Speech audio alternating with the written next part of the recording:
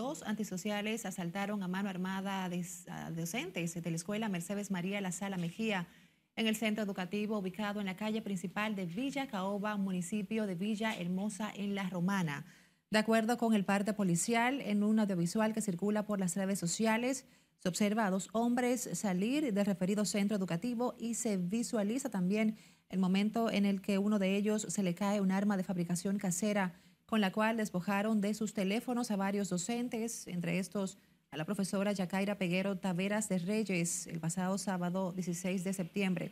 Según informó la policía, los atracadores que fueron apresados se desplazaban en una motocicleta marca Longsin color negro sin placa.